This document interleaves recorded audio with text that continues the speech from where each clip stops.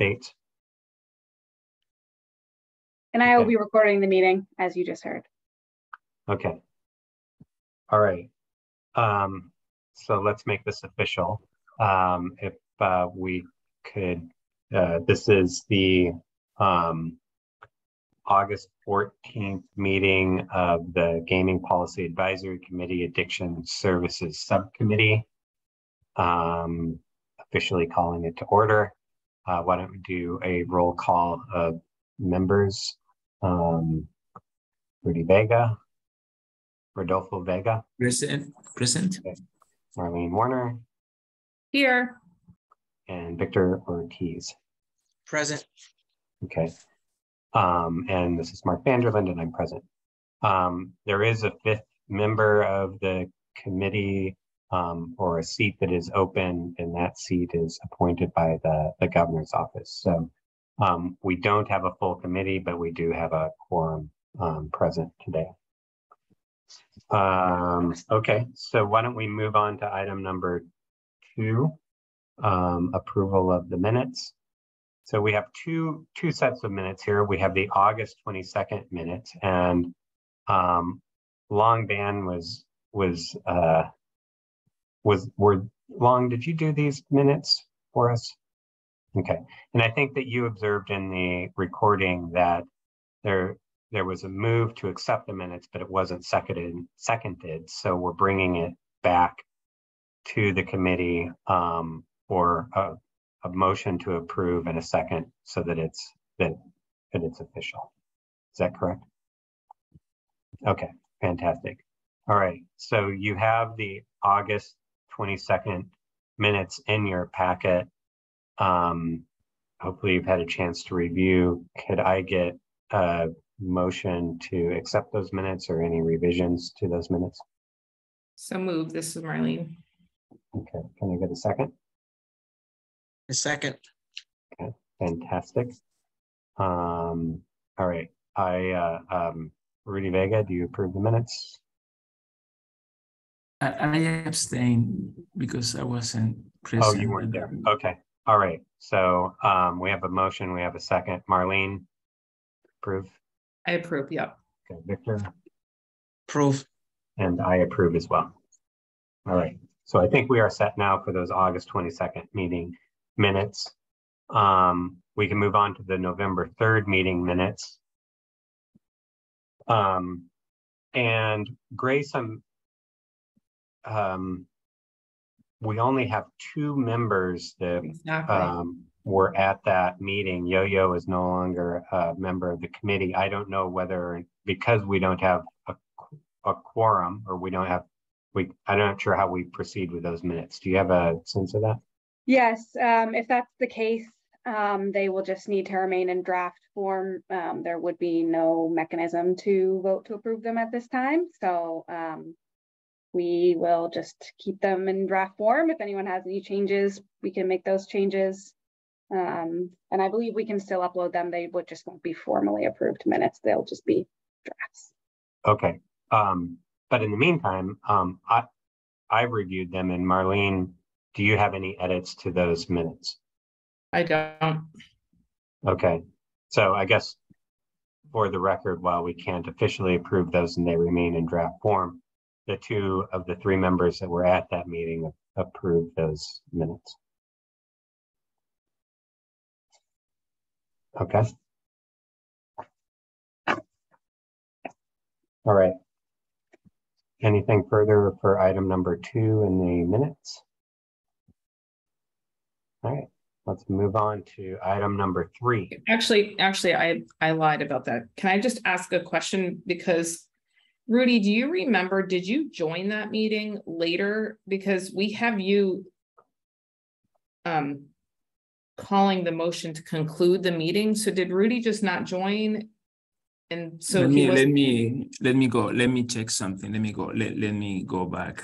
okay. Do you That's see what I'm saying, Mark? I, yeah, I stand corrected. I did not attend the November third meeting. I did attend. I did attend the August twenty-second meeting. Yes.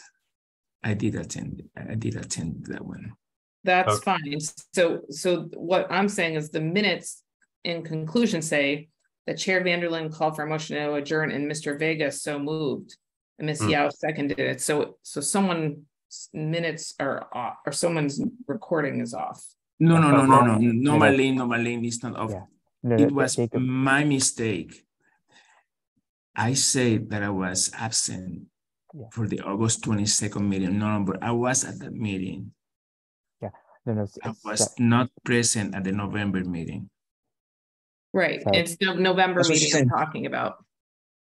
Sorry, can I just? We're talking sorry, about the November meeting. That's correct. So it, it is an, an update. I will make that update. Thank you, Marlene. Um, so what happened was I used that, um, the, the minute from the August. So that needs to Ah. be taken off. So I will strike that out and we'll, we'll, we'll update that. Do we know who concluded? I mean, it doesn't really. We, we have a recording of it, so. Yeah, yeah, we'll we do. go back Perfect. And, and make that edit to it. Perfect, okay.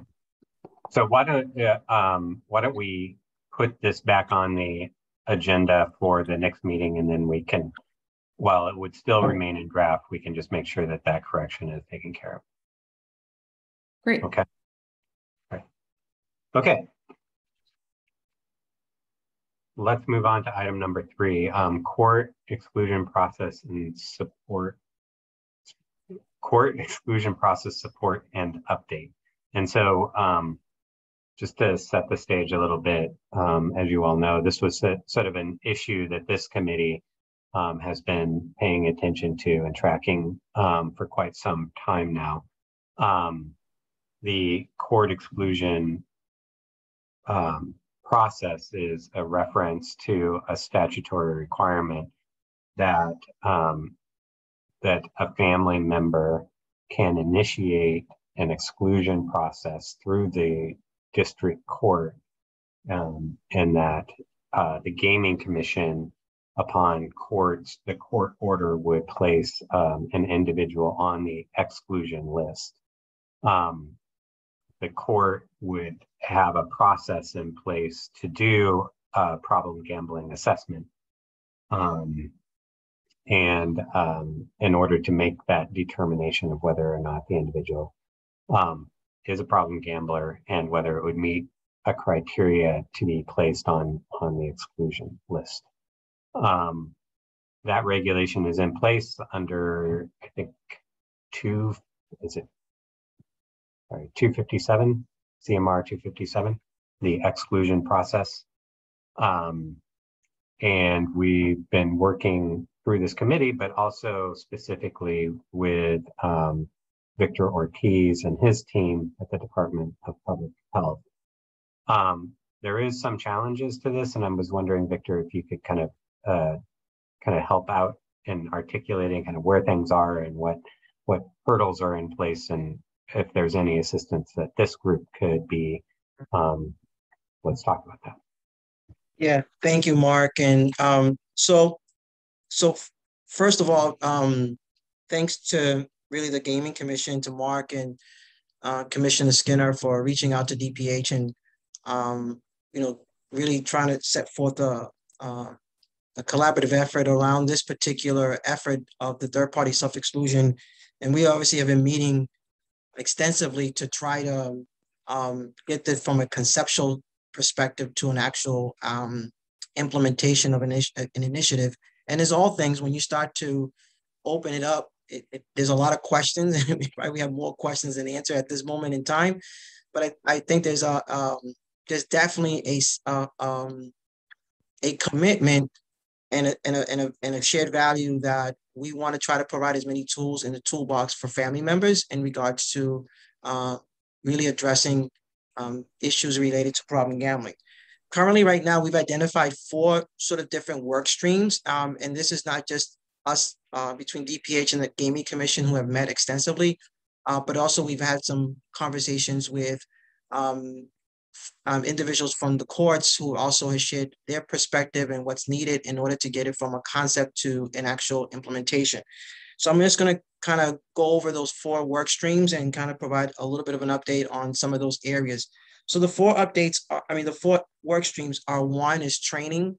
Um, we have heard um, from the courts themselves that there needs to be an extensive level of training uh, for the court personnel, including judges, in order to build their capacity and understanding in regards to problem gambling. Um, so there's a, a training component that needs to be um, that needs to be organized and coordinated. Uh, the second work stream is a, is a structure for reimbursement. Um, so as the court personnel, which are the folks who are identified as psychologists who are under the courts, would need um, a mechanism for reimbursements when they conduct the assessments.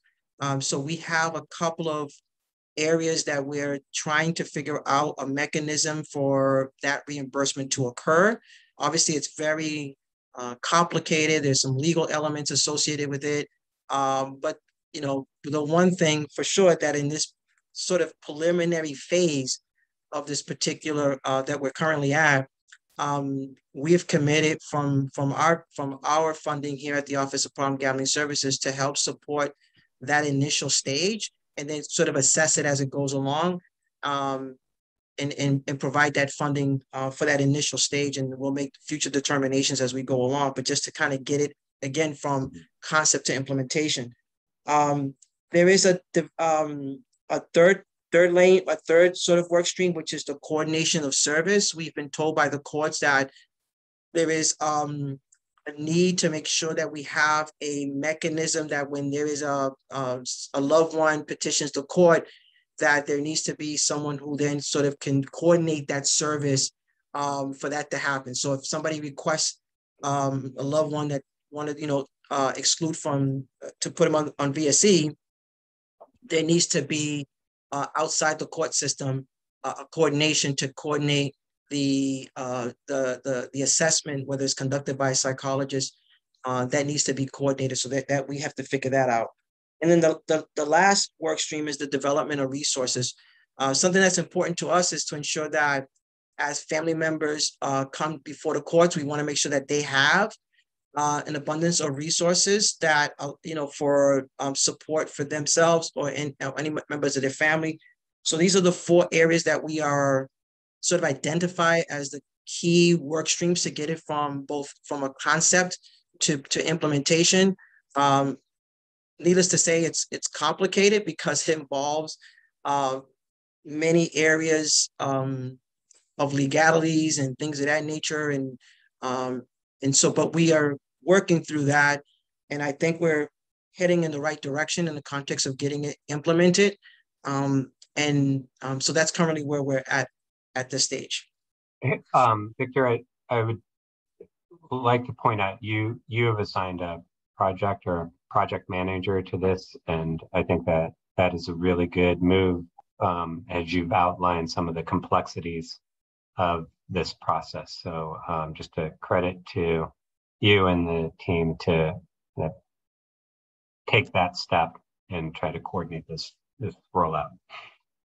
Well, we we appreciate it, Mark, and you know I think it's um, needless to say um, there's I think anything, I think all of us have experienced that when we have a concept, right? It's it looks well on a concept. It's really the the details, right, that are important. And um, we're happy to to assign uh, one of our project managers with this particular uh, project mm-hmm. because there's just so much entities and moving parts to this. And uh, we we intend to continue to work through these work streams, um, but also update this committee and or our partners in this space. Um, is there, a, you and I have spoken a little bit offline on this in terms of kind of where the gaming commission is in terms of what support we can. And um, I haven't been much help. I, I wish we could be more help, um, honestly. Um, but if there, if there are any sticking points here that you feel like um, you want to raise with this group that you think could be helpful, um, please feel free to, to let us know. No, I, I, I appreciate that, Mark. And I think that at this stage, um, it was, I think it's an accomplishment for us just to identify the work streams, right? Um, and I think that in some areas, some are better than others. For example, in the training component, um, that to us is an easy sort of lift because we have an existing contract through our technical assistance center and they already been aware in regards to that this is coming down the pike in regards to them to outline the training component. And obviously we'll talk about what that looks like, things of that nature. So on the training front, that's that's kind of an easy lift for us to to, to facilitate that. But I think the challenging part is the, the structure reimbursement is where we have a sticking point here, but we do have two um, two options that are viable at this moment in time um, that we're pursuing. Uh, but the good thing is that we are providing, oops, sorry, my lights here. Um, we do intend to leverage our um, resources, financial resources to help support this initial stage. Um, is just really figuring out the structure of the reimbursement um, and which is the best path. So hopefully we'll have an, um, we'll make more progress in that, in that space. And then I think the development of resources is an easy lift because it allows, I mean, we have an abundance of resources that um, that we have currently right now. We might have to obviously identify others, but I think that's that's something that is controllable by all of us, uh, all of our partners. And then the, the, the, last sticking point is the coordination of service, which we have to figure out. But I, I think the fact that we've been able to identify the work streams and work through them, I think is an accomplishment to itself. Victor, do you have a, a goal as to like once these work streams are further along, like when you hope to be able to publicly release, you know, promote this and and kind of get this live? Have a go live? I I I I, it's a great question, Marlene. I think that what I would love, what I recommend is that number one, when we are further along in the work streams, um, that we have a conversation either here or in other spaces to figure out a, a coordinated effort because it's going to involve various entities, right? I mean, it's it's you know obviously we're being supportive in this space, right? Um, in the context of leveraging our resources to participate in this but it, it, this this this is really a collaborative effort, right? There's a role here for the gaming commission. There's obviously a role here for the game sense advisors and things of that nature because they need to be aware because they're the front lines in the context, and so that that has to be coordinated with the game sense advisors. There's no other, you know, we have to be able to do that because they have to be aware. And I, I, I recommend that at some point in this process, um, as we get further along before we even go live, we should have a debriefing with the game sense advisors to, to ask them what they how they feel about it or whatever because it's to get their feedback because sure. that hasn't happened. I mean, they're the front lines. They're in the casinos. They're working with folks. We haven't had that. I would, I was, I would venture out to say that we should have that opportunity um, to engage them. Um, we want to make sure that all the I's are dotted and T's are crossed before yeah. it's identified as a resource. Great. And one of the um, items, one of the topics that we discovered or explored on this is how are casino operators engaging with talking with family members who are coming forward and saying, I have a loved one who is in the throes of a gambling addiction, um, and I don't know what to do. And uh, making sure that they know what resources are available, including including this. And so, Game Sense is Game Sense Helpline, these sort of frontline um, resources. But I, I really these casino operators um, um, each have a response when I ask them what they what they do. Um, but I think that this is an important piece of it as well. So I want to add them to it. Yeah, no, definitely. I, I totally agree. I, I I would say that I'm sure that we probably have, well, we definitely have more questions and answers at this moment in time. And I'm sure that through other engagements, there will be more questions that maybe we didn't think about uh, and I, I would strongly recommend, just from my experience, that we try to address as many of those questions before going sort of, you know, uh, going public with, uh, with the actual initiative to make sure that we've we crossed all our T's and dotted all our I's. Uh, but Marlene, getting back to your point, um, yeah, we're going to have to do some some coordination of engagement with uh, the Game Sense folks and other folks in, in your shop uh, and other folks, other stakeholders to um, make sure that we're on the right path, or maybe if we're missing something or whatever the case may be. And again, we're happy to help as the department and in, the spirit of collaboration. Um, this is not, although um, you know, this is not in the in our mainstream of work, but in in, in light of the fact that we share this the same commitment, um, I think it's a it's a, an important initiative to to uh, to work together on. Yeah, great. I, we're we're ready. So you let us know. I I think the four workflows makes perfect sense. I appreciate you guys lining those up and thinking so much and so so strategically about them. So let us know when you're at that spot. We're happy to help or or with anything else as you as you move through this. We're absolutely a very willing and interested partner um, as you move forward. And I guess the question for me, Mark, if I may ask, is is these are the four work streams that we identified through the multiple conversations that we've had either with um, with the gaming commission and or the courts. But maybe the question I could ask here is, is there a work stream that we're missing that we didn't identify? Um, maybe that's a, if, if you think of the if Rudy or Marlene, if you think that there's a work stream that we're missing, happy to add it to it um, if, if you feel that. Okay, okay, let me think about it. I, I think you articulated them very well, but certainly if Rudy and Marlene have more to add, that would be great. Yeah. Yeah, and I think, I mean, to your point earlier, Victor, like Victor, I could also you, think- Victor, could you please? No, I'm saying Marlene, I'm sorry, Rika, Marlene is speaking. Hold on a second. I'm sorry. I was just gonna say that um maybe we can, I assume this is what you're thinking anyway, but that you would test pilot it in one of the courts and just see how it goes, right? Like and and and see if I, you know, I could think all day and all night about this and I might miss something pretty obvious because we haven't put it into place. Um so I guess that would be one piece. And then to me, one of the other things I'm interested in is just what is and Mark, we haven't really talked about this in a while, but like, what are we doing a little bit more upstream? I think we all agreed that like everything Victor laid out is exactly right, but that's like the end of the road. And we want to have the casinos doing some work and the sports betting operators doing some work. And, and frankly, now that we have iLottery, everyone doing their, their things ahead of the, ahead of it getting to a court system. So um, I just want to figure out what are we doing a little bit more upstream. Um, and that's not on DPH. I think that's on all the regulatory bodies.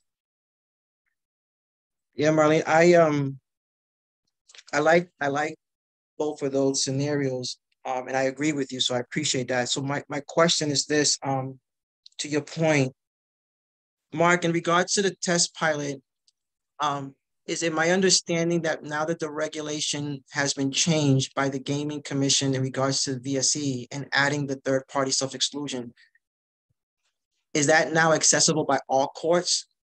Right? Because once you go into implementation, so I, I think that I, I agree with Uh, you, that, real quick, it's available in, in um, district courts and uh, point of clarification to that is that it's part of the exclusion regulation, not the voluntary self. Okay.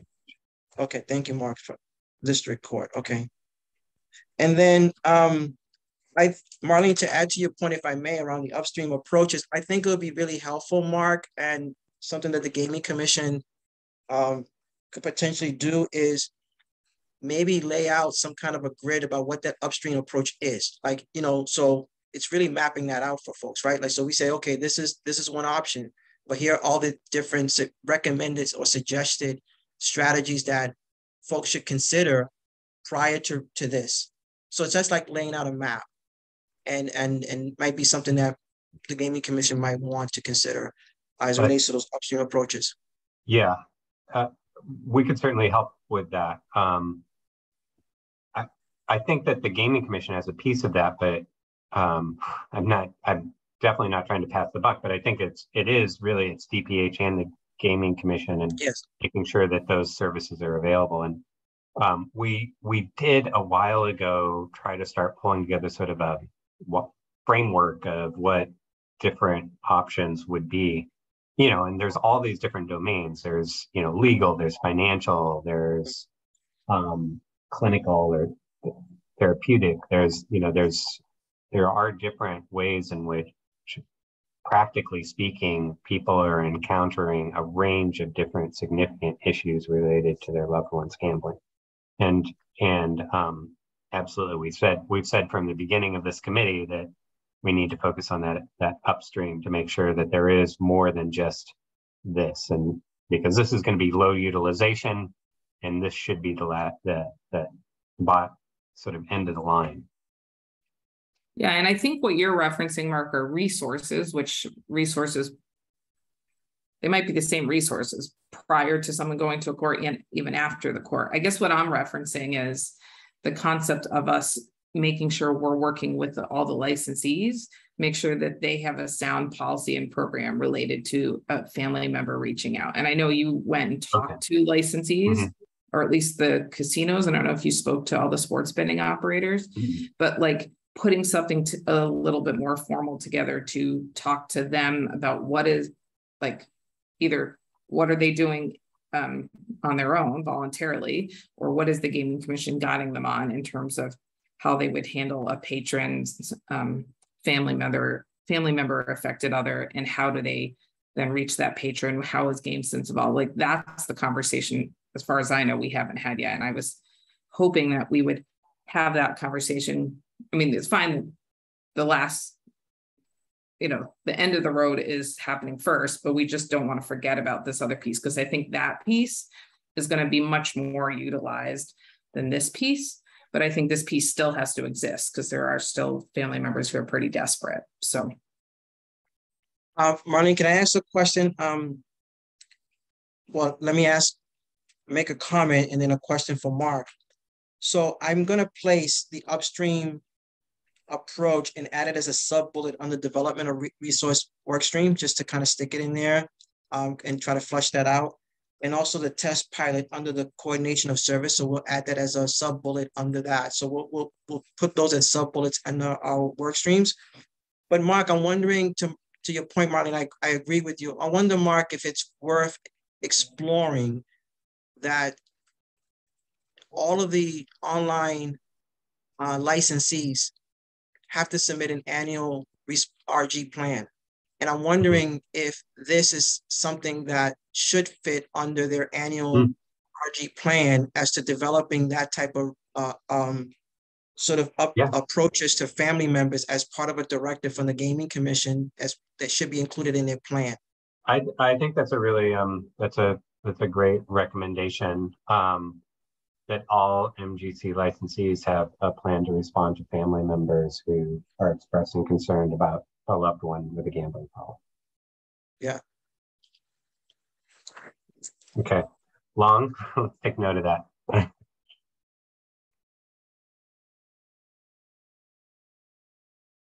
Rudy, you were going to say something oh, I'm sorry. a little bit ago. I don't want to. I don't want to lose that.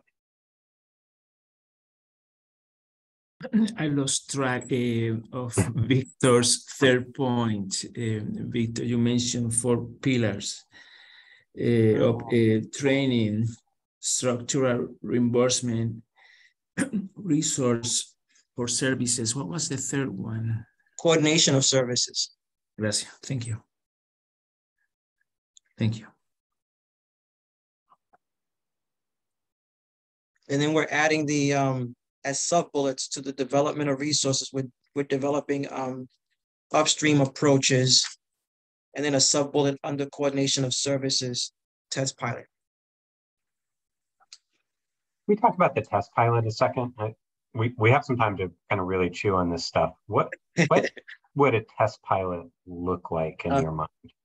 I'll give it to Marlene since it was her idea, but I agree with it. But... um, so, I mean, in my mind, it's it's that instead of training everyone and putting this in place for everyone, you're just going to do it in one court system. You're going to work with one specific team of people and assess like maybe our training's missing something or maybe the coordination of, of services in um, outside of the court system is lacking something um, we just want to like test it before we like implement it everywhere and then we realize we've missed something and then we have to implement that change everywhere um, so you know we go into whatever Lowell District Court and in Lowell we um, implement all of this as is, um, or wherever, it doesn't matter. But, um, and then we, I think we designate a certain amount of time and we have a bit of an assessment planned pre implementation, and then we're going to just assess how it's going.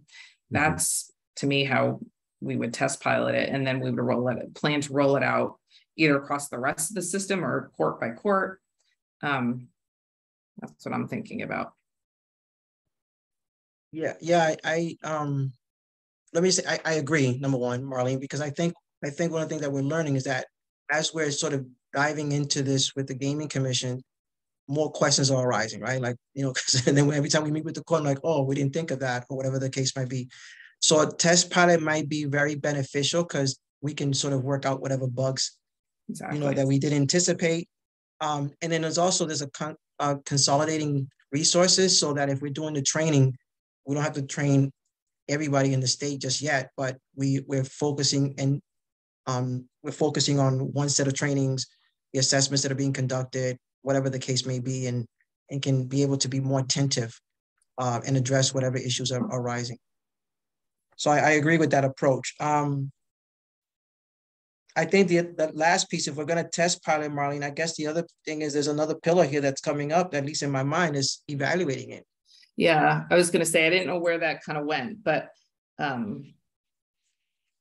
But yes, I'd say evaluation and metrics or data and evaluation.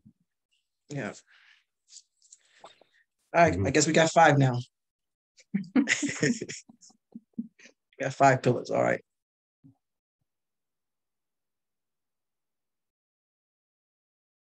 See, when you have a meeting, you can always add more work. That's right. Yes. Yeah. Okay. All right. Well, this is, this is great. And, you know, it was said from the beginning that we're building, building this model. Um, we don't really have a lot to, to reference, at least in the United States. So, I'm gonna add one other wrinkle to it, because, you know. Oh, yeah. Um, um, Why not, Marlene? The list is getting long. So where would like promotion of this land and um yeah, like where would promotion of this land? I think that um you know, questions about it will come through the way they come through, whether that's through the helpline or whether that's through the chat or whether that, you know, whether that's yeah. through Game Sense or whether it's through the helpline. I think that's fine. Both teams will be well versed in this. You know, we can train them up on that. But but in terms of promoting it, um, and sending people to the right resources, working both internal to the the licensees, but also external and out in the public. How would we, who would coordinate that? Who would pay for that? Who would develop that? Um, I think, I mean, I mean, I go ahead. think there's a lot of organic sort of promotion of it. Helpline and Game Sense and casino operators are all, are all like top tier, you know, promotion of this. Um, but I'm not sure, and court, the court, obviously, knowledge of the, the availability of such a program would be included in that. But treatment providers, um, other community resources, So Marlene, if I may recommend to this committee, based on that recommendation of promotion, I would add it as a second sub bullet under the development of resources. Right, to add that, because Hmm. um, don't want to lose sight of that, because I think you're right. Uh, but the one thing that I'm, that I'm making assumption here, Marlene, and correct me if I'm wrong. When we talk about promotion, I think there's needs to be um, not just promotion, but ensuring that there's a centralized um, sort of understanding of what this is, because obviously, once we can put like what the goal is and what it is, and maybe have a one page of what this is, it's really about could we add this on the Gaming Commission website as a reference on the Game Sense DPH, so because there has to be an alignment of what this is, and it has to be described somewhere. It has to be some kind of written description and you know, what the process is or, you know, who to contact, whatever. It's just the typical stuff that we do on our websites um, so that it can sort of live in the various different other spaces that whether it's through the gaming commission, through the through your website or the GameSense website, through DPH as a hub, so that if we're then talking to treatment providers or community-based organizations, they know that if they're going to either of those three websites, there's a there's a exactly there's a it's common coordinated in a language. Yeah, common language. So so the reality is it's not just promotion, it's who's going to develop the common language, yeah, right, for that particular services. yeah. I think that's. So that's But- something that we can You, you said you were placing it under that, that second pillar or area, right? Yeah. yeah, Okay. Okay, yeah. I'm gonna I'm just gonna create space for that, but obviously I think it has different things that we can we can um sort of some goals in that promotional piece. okay. So I'll I'll speak to our our um to the our person who's handling the con uh, the project management. I'll talk to French to Francesca who oversees our programs and services, overseeing the uh, the the consultant, and I'll give her an, I'll give them an update and so that they can add these to the uh, to the work plan. Great. These Thank updates. you. Okay. Um. Anything else on item number three? Court exclusion process support and update. Okay. Well, Um, Mark, if I, if I may borrow a couple more minutes, because I, I do think this committee raised a lot of concerns about this. Uh, and I want to just let people know that we have uh, taken, have really centered those concerns within our conversation. Uh, there's obviously conversations about um, cultural and equity con- uh, concerns that was raised very ex- exclusively here. Um, and that obviously is something that we're thinking about. Uh, but it's also about um, there's a there's a concern that was raised in this committee about when we get to the implementation uh, phase, and let's say that as it goes through and they're going through the process, what happens to that individual who is identified as a gambler and what kind of resources and support that they get, right? Because currently, right now in the state of Massachusetts, there's not a, uh, a um, there is not a a uh, sort of residential location or um, for a person to go to. So then what happens to this person if, you know, so tho- those, these are concerns about safety and things of that nature that I think we raised. Um, so as we're trying to implement this, we also have to be mindful that at some point we might have to revisit these conversations again to kind of, you know, to talk about them as we, as we move forward. yes, agree.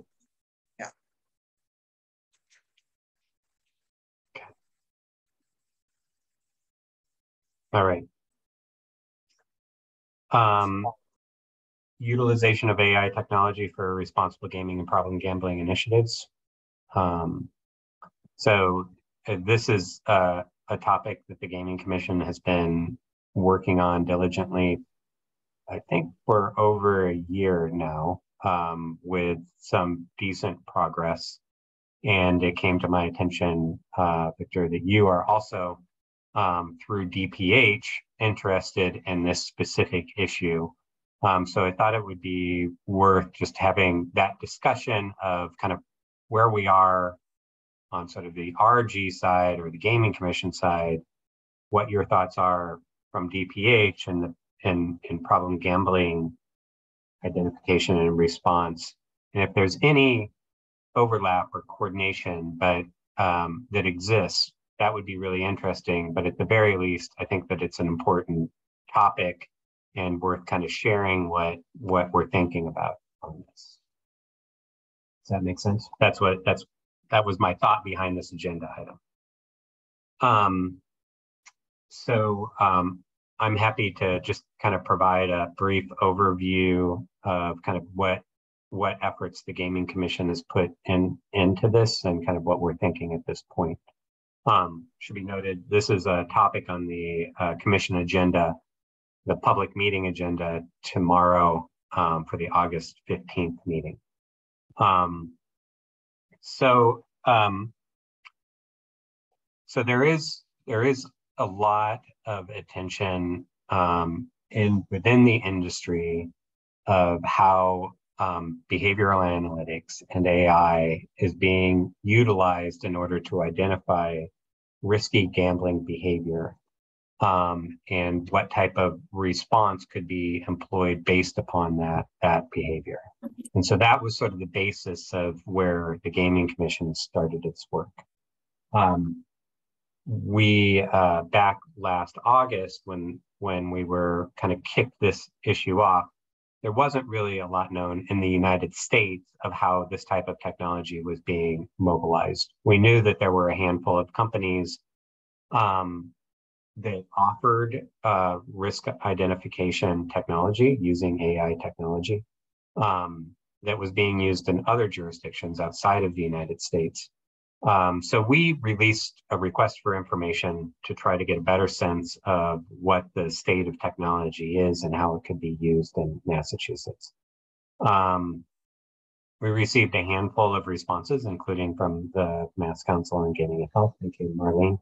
Um, and we summarized those those findings and put it into a report earlier earlier this year. Um, we also in the FY24 research agenda, we're in FY25 now. In the FY24 research agenda, we included a study um, to look at the use of, of AI technology for responsible gaming um, purposes. Um, I'm going to ask Bonnie to just provide a quick overview of what uh, the awardee of that and what the aims of that study are here in just a second. Um, we've done other types of sort of groundwork on this as well. Um, I had a really interesting meeting with um, Mark Pace, who is the president of the International Gaming Standards Association. I, I found that really, really helpful in thinking about how the gaming industry is using AI more generally, not just in terms of responsible gaming, but in terms of player acquisition and inducements, um, and that there is there isn't a lot there isn't a lot of regulation out there. There's no regulation in the United States that really sort of defines this and puts parameters around it. And so I think um, tomorrow I'm going to to mention this to the to the gaming commission and see if there's anything that we should be thinking about. Um, and then finally, um, the next step of the gaming commission, obviously, that we have the study in place. Um, we intend to meet with each of the sports wagering operators. Uh, correspondence is going out to them this week to set up meetings to get a uh, for individual meetings with them and the AI working group within the gaming commission to identify how they are using it, um, using AI technology across the board, um, and uh, their interest in collaborate in a collaborative approach of um, using this technology to to intervene. Um, the only other oh, there's one other piece here um, before I ask Bonnie. There's there's um, New Jersey is the only jurisdiction in the U.S. that currently has any type of requirement about um, using AI technology within their sports wagering to identify risky gambling behavior in New Jersey set out a sort of outline of what they're calling RG best practices that includes different levels of, of intervention. And so, very interesting. Um, but I also think that there's a lot more to be learned. Um, so, for example, our team, my team met with Dr. Lia Nower from Rutgers, who has quite a lot of experience in this area. We hope to to use her expertise and and further defining kind of where the Gaming Commission goes in this space. Um, Bonnie, could you just uh, just a very high level overview of the UNLV study that that is in the field now or preparing to be in the field? Yep, absolutely. Hi, everybody. Um, I just wanted to say a little bit about um, the AI study. Um, we conducted a procurement as part of the FY24 research agenda. Um, and essentially, what we're looking for this study to do is um, review the current and future possible uses of um, AI in the gaming industry. And we want them to focus on uh, marketing, player acquisition, and responsible gaming functionality and player health. Um, and the focus on responsible gaming will include reviewing evidence and evaluation data related to um, identifying and responding to behavioral risk, particularly on sports wagering mobile applications. Um, so very high level, that's kind of what the focus of the study is going to be. Um, and we conducted the procurement and recently awarded it to um, the University of Nevada at Las Vegas. Um, Dr. Kasra Ghaharian is going to be the PI on that study. Um, and we're in the process of kind of um, negotiating the contract and getting that study into the field. So we're, we're really excited about this um, study coming up. Great. Thanks, Bonnie. So obviously we're we're churning a lot of information around within the gaming commission, trying to be as thoughtful as we can, leveraging the evidence that's available, um, um, and trying to come up with sort of the regulatory uh, structure that would need to be in place in order to to roll this out. So uh, that's where the gaming commission is. Um, and uh, Victor, I know you're also really interested in this space.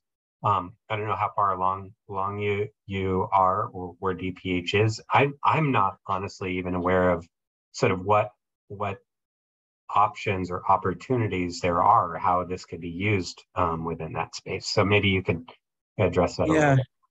So Mark, I so thank you, Mark, and and I think in general, if we take a step back, I I just have sort of as a person who's been doing this work for nearly 30 years, I, I'm just concerned and have watched this evolution in our field, whether it's gambling or addiction or mental health, evolve over many years, right?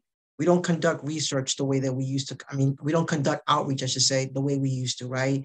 Um, we don't um, facilitate information the way that we used to because technology has really been centered to really our society, right? And how we communicate, how we interact, how we, um, you know, disseminate information. And so um, when we think about our work, we have to be mindful about this, this evolving aspect of technology and how do we sort of think about um, really adapting a lot of the initiatives that we're sort of leading and adapting them to really align with, with the advancements in technology. Um, the other thing is a lot of the experiences that people are experiencing right now are is through technology, right?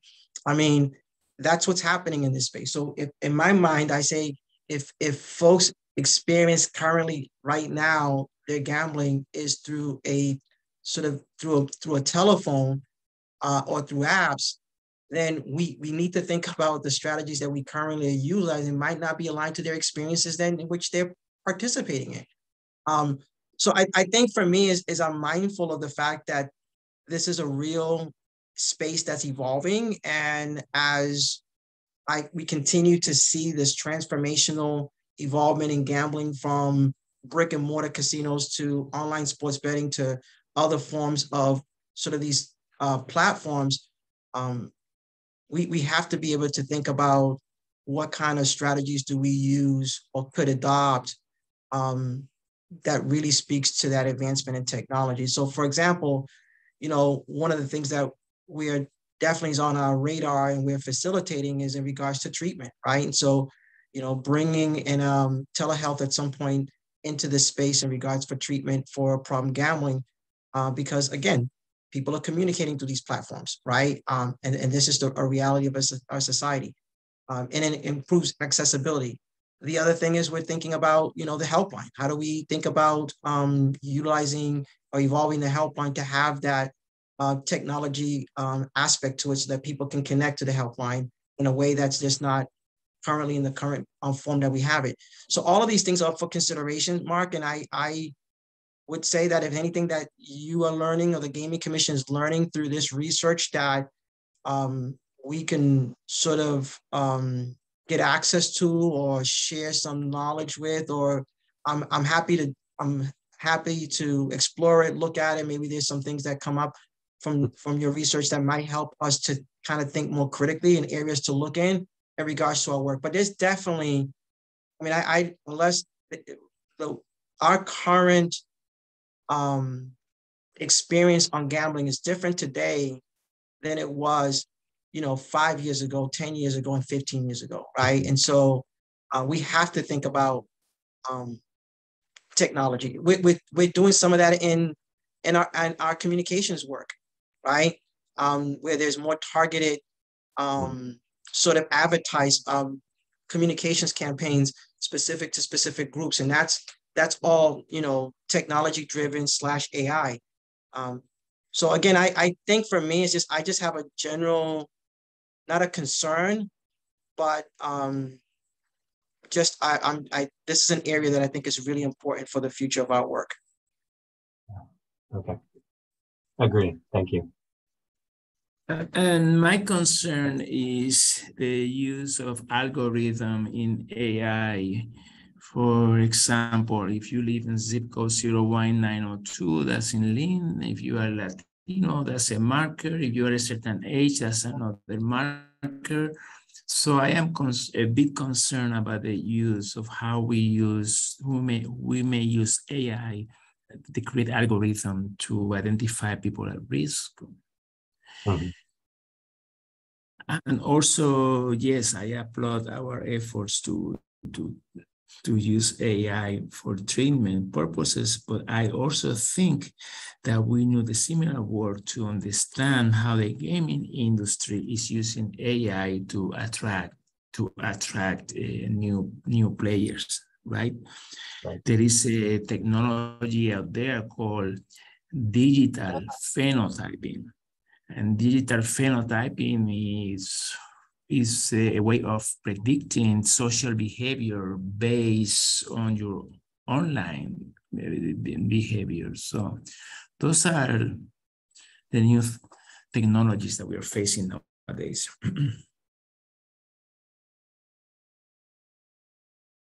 Thanks, Rudy. Those are, I completely agree with all of that. You don't go into this with your eyes closed. Um, and I think that um, part of the nature of the, the research project that we have out there, part of the reason why we're slow walking this is to try to better understand what opportunities there are, but also sort of where do we need to be incredibly cautious um, in, in moving this forward.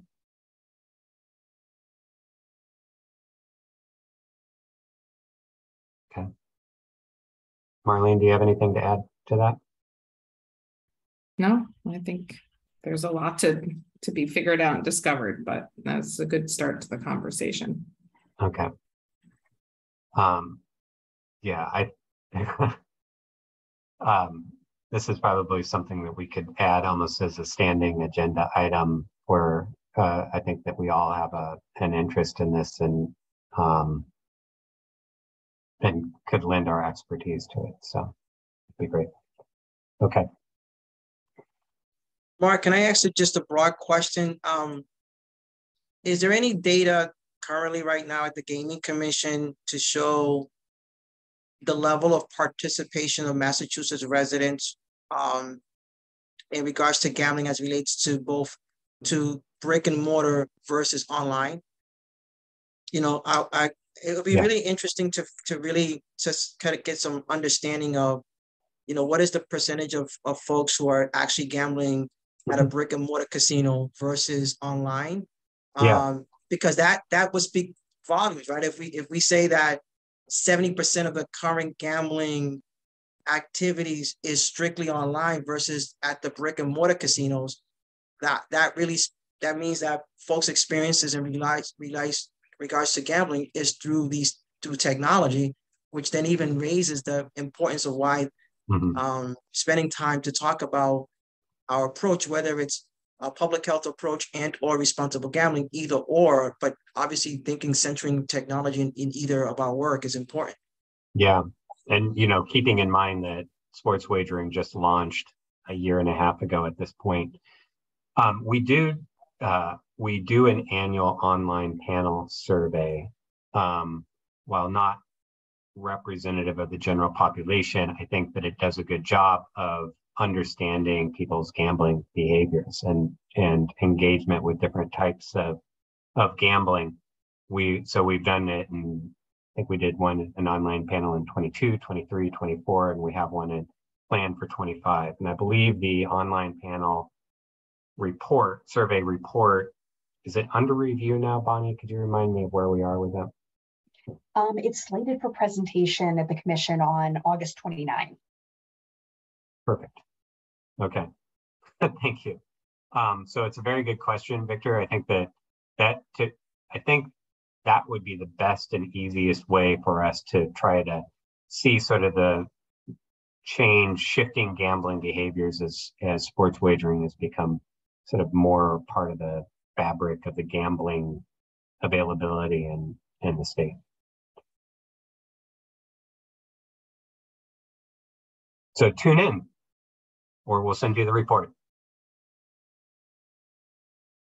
Okay. Good. All right. We have two minutes left or more, uh, uh, but I want to move on to the next agenda item of subcommittee member updates. Um, anybody want to go first? I'll go first because I do have a new meeting, so I need to leave. Um, uh, at the council, um, we are doing a number of interesting things. Um, and, you know, you know, you just mentioned, Mark, that that we are, you know, a year and a half into sports wagering. Um, I think we're still getting our feet wet in terms of like what are the best ways to reach sports betting players, um, mobile players. They are primarily, Victor, just so you know, and this is universal, but like people who engage in sports wagering, it's something like 97, 98% of them do so online. Um, so very few are going to the sports betting areas or kiosks um, that are on site at the brick and mortar. But I know your question was related to people who engage in casino gambling as well. Um, and so you know, we continue to work on how can we offer game GameSense services to people online. Um, and and I think, you know, we're looking to September for RGEM trying to um, implement and or test pilot some of the ways that we're thinking of that might be useful. So hopefully next time I can offer some update on that. Um, and yeah i mean i think in general um, you know we're also preparing for you know victor and i've spoken about this but pre- preparing for iLottery that has just been signed into law by the governor um, to figure out what that looks like how do we prepare for that now what are some of the elements that are new and different from working with the casinos and and the um, sports betting operators so a lot ahead of us. Um, and then obviously implementing the games, the recommendations in the GameSense evaluation, implementing the Sigma updates that came through in May, um, implementing a lot of the interesting research that we have figured out or elements that we figured out from the Safer Ride Home project with this with the City of Springfield's Department of Health and Human Services looking at drinking and gambling and driving. Um, and then also we just concluded um, and are in the process of implementing recommendations from Dr. Michelle Malkin around LGBTQI plus um, uh, elements to not just the game sense centers, but uh, information centers, but also just overall game sense as a program, council-wide things. So lots, lots going on. So mm-hmm. that's that's it for us. I apologize. So I do have to go. Um, but thank you. Thank you, Marlene. Yeah. Marlene. I really, I really am interested in, in updates that both of you have. Um, Victor no, and, I, I have no update, Mr. Chairman. I don't have any, I don't have no new, no updates. Um, so Mark, I, um, quick update. One thing that comes to mind as an update is that, um, we are, um, going to be conducting our eighth annual, uh, stakeholder listening session in October. I don't have the exact dates. and I know Rudy may have the exact dates uh, because his him and his team are the ones who facilitate the um, the stakeholder listening session.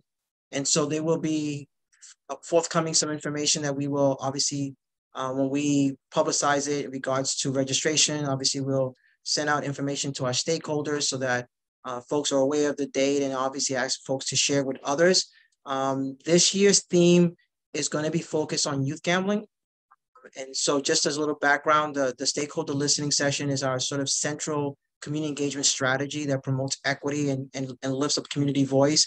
uh, that really informs our strategies and programs and services uh, at the department. Um, so more to come on that, and we'll share the information uh, when they're scheduled. So we're going to host two of them, um, the two different dates. And so when we uh, have that ready to go, we will obviously uh, share it with with our with the gaming commission and others um, as well, and, and, invite folks from the gaming commission and um, other uh, our other partners uh, to to to join us. They are on Tuesday, Tuesday, October 8th and Wednesday, October 9th, both at 5.30. And it will be online. Okay. You know, to to that end, um, Victor, we um, you know we have a number of studies that are currently in the field um, to better understand, explore youth yeah. gambling behavior. Um, one that I think is is really interesting is with Suffolk University right now, looking at the effects of advertising on their student body. Um, but we're also working with the um, city of Springfield. We're working with um, NORC. There's a, there's a, there's a number of studies out there. Bonnie just needed to leave, but she was going to provide a quick update on that. Um, you know, certainly let's pay attention to that space. I think it's an it's an important issue for everybody here. We're all kind of tuned into that, and I think that the more we can stay coordinated on that, supporting one another, um, the better the better we are. But I agree. I think that we need to really focus on this stuff. So. Yeah, no, I agree. And, and whatever information um, that's available at the Gaming Commission as you sort of produce your studies, um, as you guys uh, typically do, just obviously share with us and yeah.